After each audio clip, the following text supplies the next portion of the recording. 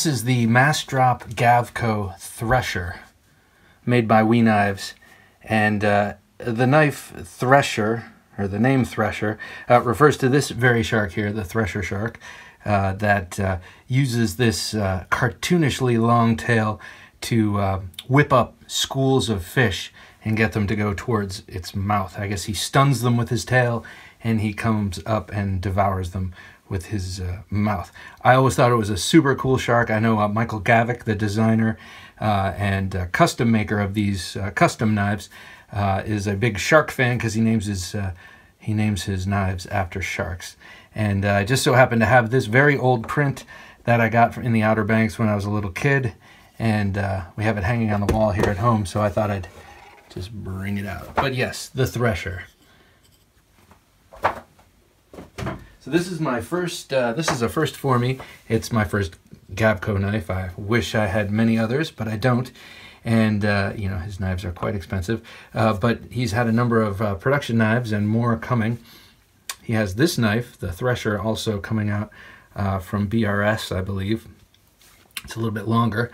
Um, but anyway, uh, his his knives are uh, things of beauty, and I've been admiring his sort of growth from a uh, uh, from a beginner on YouTube to now I just kind of drool over his offerings on Instagram on a daily basis. He just has one amazing knife after another built on certain themes. Um, this uh, Thresher theme, I guess the handle is usually the same shape and the blade is usually the same shape, but it has a lot of variations.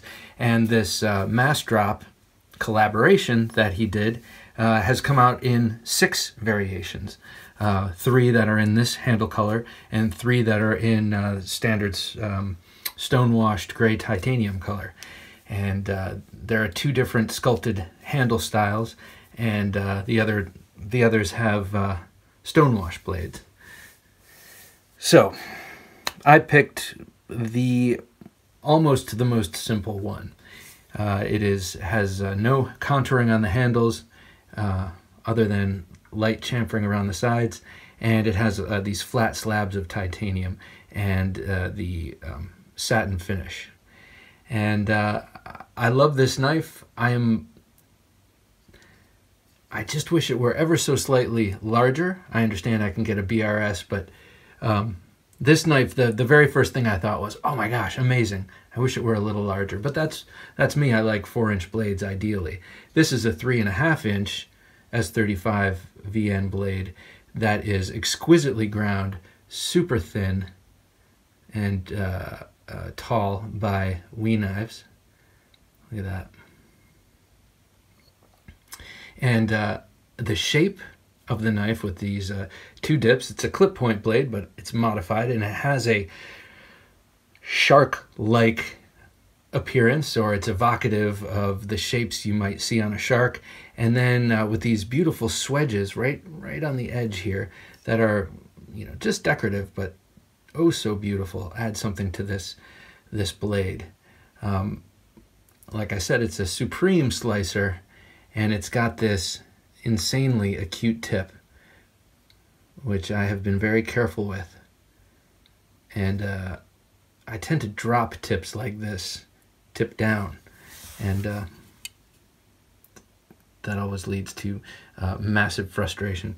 Uh, so yeah, this knife uh, has a titanium frame lock and uh, this lack of contouring is also a little bit of a a roadblock for me from truly, truly loving and carrying this on a daily basis. Um, I think I should have gotten one of the other ones. I think I would have been slightly happier. But that being said, this is a slab-sided knife like a Sebenza, for instance, and uh, I I have no no ultimate long time issues with this. And I am such a fan of the design and uh, in general it feels so good in hand and works so well as a daily use knife that I am going to keep this and this will probably be the only Michael Gavko knife in my collection until I find that proverbial briefcase full of cash and gold and I start uh, buying the real deal. So uh, you'll notice a couple of things. Uh, the hardware, the thumb lugs are uh, black, I think to be evocative of the large black eyes you'll see on a thresher shark, and yet the uh, the hardware here is anodized the same color as the handle, which is a really uh, cool detail, something I never thought of uh, as desirable, but uh, well, now that I see it, it is. It's cool. I like it. Uh, the pocket clip is 3D machined titanium, works beautifully. It's got just enough spring, but it's loose enough to uh, uh, and uh, deep enough here to accommodate chunkier pants. Of course, the double the double reinforced tactical pants are always kind of an issue, and I haven't tried this on those yet. Um,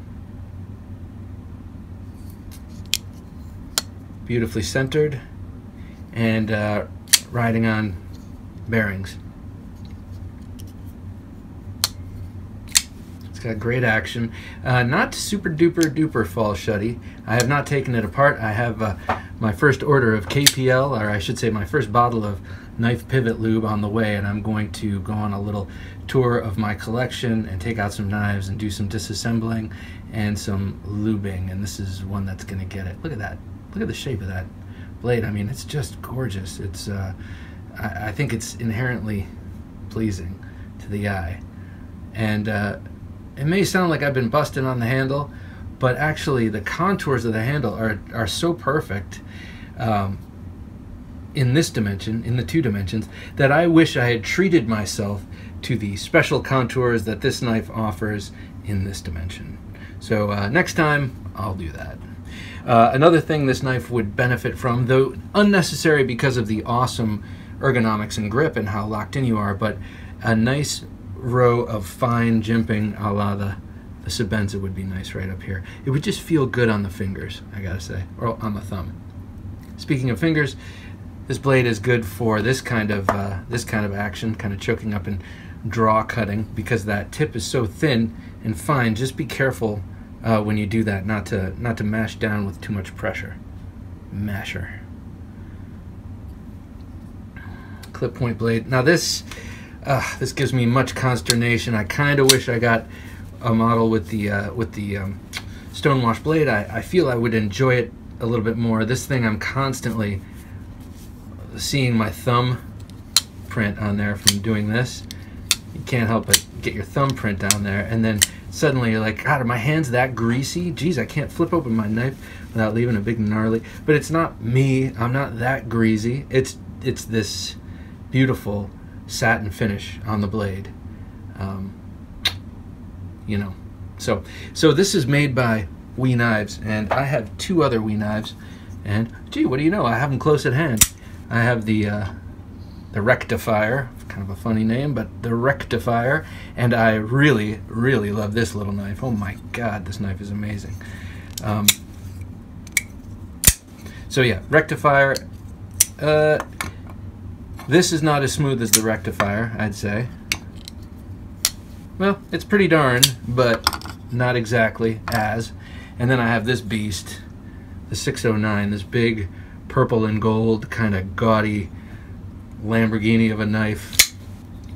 And this thing is just ridiculously smooth.